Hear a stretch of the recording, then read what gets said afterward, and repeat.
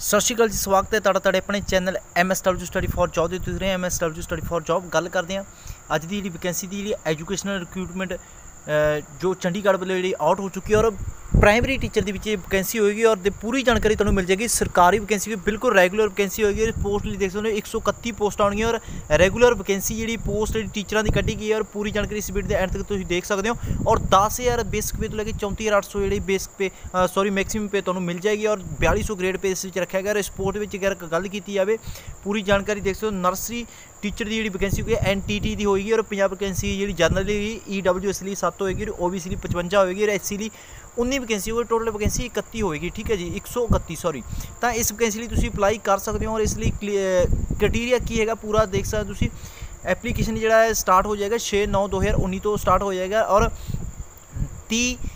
9 2019 ਦੀ last date ਰਹੇਗੀ ਔਰ naan refundable fees ਇਹਦੇ ਵਿੱਚ ਜਿਹੜੀ 800 ਰੁਪਏ ਜਿਹੜੀ ਤੁਹਾਤੋਂ ਜਿਹੜੀ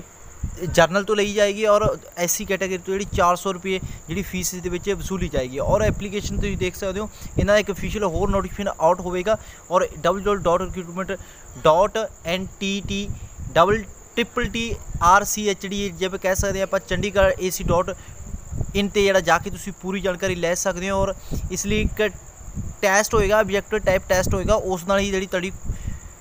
ਸਿਲੈਕਸ਼ਨ ਹੋਏਗੀ ਔਰ ਇਸ ਦੇ ਵਿੱਚ ਕੋਈ ਇੰਟਰਵਿਊ ਨਹੀਂ ਰੱਖੀ ਗਈ, ਠੀਕ ਹੈ ਜੀ। ਇਸ ਪੋਸਟ ਨੂੰ ਤੁਸੀਂ ਅਪਲਾਈ ਕਰ ਸਕਦੇ ਹੋ ਔਰ ਇਹਨਾਂ ਦੀ ਵੈਬਸਾਈਟ ਤੇ ਜਲਦੀ ਨੋਟੀਫਿਕੇਸ਼ਨ ਆਊਟ ਹੋਏਗਾ ਕਿਸ ਤਰ੍ਹਾਂ ਹੋਰ ਜਿਹੜੀ ਜਾਣਕਾਰੀ ਹੈਗੀ ਆ ਠੀਕ ਹੈ ਫੀਸ ਮੋਡ ਕੀ ਹੋਏਗਾ ਸਾਰਾ ਕੁਝ ਅਸੀਂ ਜਲਦੀ ਦੁਬਾਰਾ ਇੱਕ ਹੋਰ ਨੋਟੀਫਿਕੇਸ਼ਨ ਤੇ ਲੈ ਕੇ ਆਵਾਂਗੇ ਇਹਨਾਂ ਦੀ ਵੈਬਸਾਈਟ ਤੇ ਅਫੀਸ਼ੀਅਲ ਨੋਟੀਫਿਕੇਸ਼ਨ ਵੈਬਸਾਈਟ ਵੱਲੋਂ ਇਹਨਾਂ ਦੇ ਡਿਪਾਰਟਮੈਂਟ ਵੱਲੋਂ ਐਲਾਨ ਕੀਤਾ ਹੈਗਾ ਔਰ ਇਹ ਅਖਬਾਰ ਇੱਕ ਨਿਊਜ਼ ਹੈਗੀ ਹੈ ਔਰ ਜਿਸ ਦੇ ਵਿੱਚ ਇਹ ਨੋਟੀਫਿਕੇਸ਼ਨ ਆ ਚੁੱਕੇ ਹੈ। ਠੀਕ ਹੈ ਜੀ ਗਵਰਨਮੈਂਟ ਜੌਬ ਹੋ ਗਈ ਬਿਲਕੁਲ ਜਿੰਨੇ ਵੀ ਐਲੀਜੀਬਲ ਹੈਗੇ ਇਸ ਪੋਸਟ ਨੂੰ ਅਪਲਾਈ ਕਰ ਸਕਦੇ ਆ ਔਰ ਕੁਆਲੀਫਿਕੇਸ਼ਨ ਦਾ ਹਜੇ ਇੱਥੇ ਪੂਰਾ ਪ੍ਰੋਸੈਸ ਨਹੀਂ ਪਤਾ ਹੈਗਾ ਕੁਆਲੀਫਿਕੇਸ਼ਨ ਕੀ ਰਹੇਗੀ। Thank you so much take care bye ਮਿਲਦੇ ਇੱਕ ਹੋਰ ਨਵਾਂ ਵੀਡੀਓ ਲੈ ਕੇ। Thank you so much take care bye